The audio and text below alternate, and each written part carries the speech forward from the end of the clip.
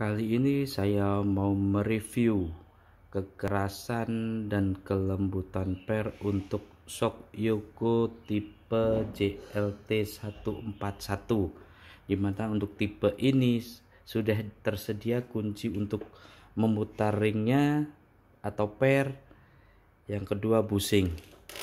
Mari kita coba untuk menyetel kekerasannya. Untuk shock tipe ini eh, pernya sudah standar pabrik jadi setelan sudah paling lembut.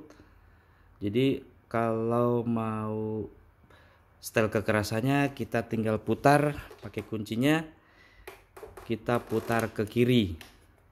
Karena kalau ke kanan ini untuk kelembutan. Jadi kita putar ke kiri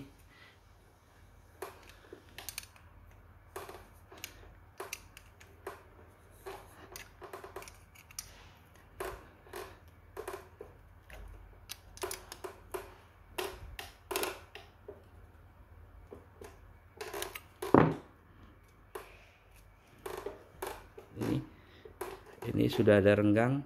Jadi sambil putar ke kiri sampai hasilnya maksimal.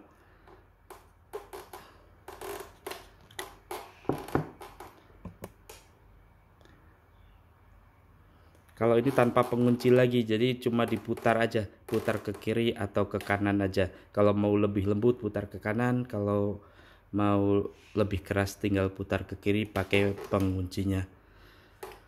Oke terima kasih